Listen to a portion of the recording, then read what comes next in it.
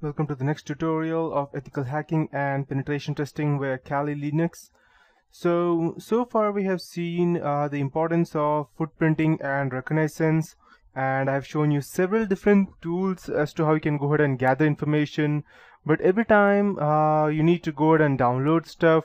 And just to be uh, sure that in case you are a malicious hacker and if you're trying to gather information and you're uh, searching these tools via Google and gathering information then you need to know that even Google keeps a record of your search. So next time if you're trying to do something wrong and Google will always have a trace on you and they can easily follow your footsteps which email ID you're using uh, which IP address have been used to, from your ID to access it and what all can be done. So the best approach would be to use a different browser and a different rather, than Chrome. I would prefer Mozilla or the best one that we have over here default is Iceweasel in Kali Linux. But there is one more secure browser which is uh, known as uh, Tor browser but I would not recommend downloading anything through that because it would again go ahead and waive off your uh, anonymity.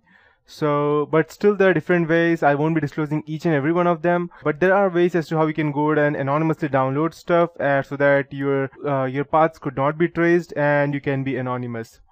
So assuming that you have all the tools but still there are some or the other point that all the tools may not work on one operating system let's say if you're using the ubuntu then uh, you may have problems downloading the rpm package or the latest update may not be available.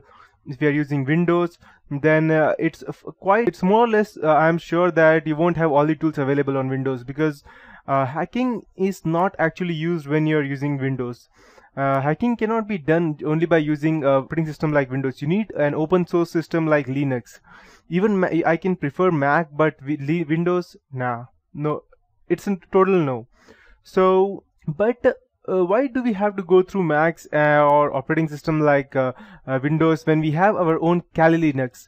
And we have all those tools such as Whois or the Harvester or uh, any related DNS queries that we want I can straight away go ahead and gather this information through my only uh, web only operating system that is Kali Linux.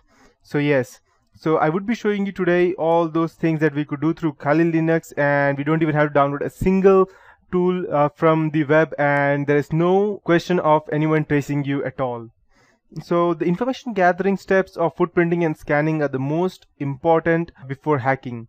Good information gathering can make the difference between a successful penetration testing uh, and uh, one that has failed to provide maximum benefit to a client.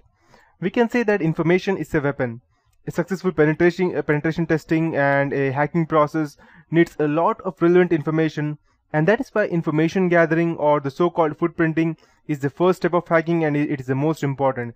Because if you have correct information then you can do anything you want. If you have wrong information then you may you may not be able to hack the right party or you may even go ahead and just expose yourself to everyone that you have all this information.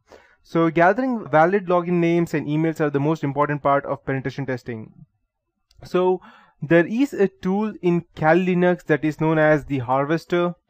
I'll just go ahead and show it out to you. Alright, then here I'll just go ahead and start the harvester directly. Yep so the harvester has been developed in uh, Python. It's been written in Python uh, by Christian uh, Martorella. And if you don't know Python, then you surely need to go ahead and learn. Although the, just using this tool does not require your knowledge of Python, but still Python is a good programming language. That's why. And it is a tool which provides, uh, the harvester is a tool which provides us information about the email accounts, usernames, hostnames, subdomains from different public sources like search engines and PGP key server. This tool is designed to help penetration tester on the on an earlier stage. It is an effective, simple, and quite easy to use uh, tool. The sources supported are Google, their, their emails, subdomains, hostname, Google profiles such as Loy names, Bing search, PGP servers, LinkedIn, Exalead, um, and the new features would include time delay between requests, XML uh, results export, searching a domain in all sources, and virtual host verifier.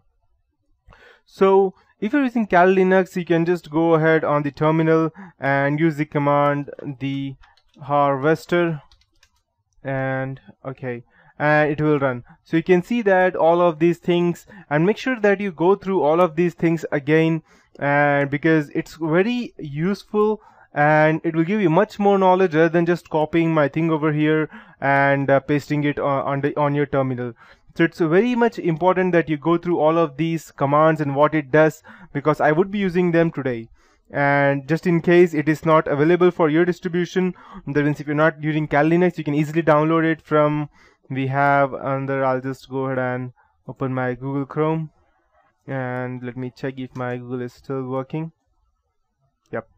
So you can just go to http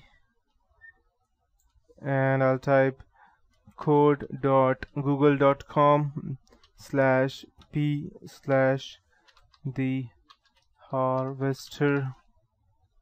Um, let me check. Okay. So here we have the in the git hub the latest resources available. Uh, so it, it, shows you what it all does. That means passive discovery virtual host bing that's pinging server server host and active directory. That is the, dns brute force dns reverse lookup and dns tdl expansion. And tilde directory brute force enumeration as well which is quite important. So now we know how these work exact what this what does this thing do. We will first go ahead and implement these things on a Kali Linux on our any normal web page and then we will see how it works exactly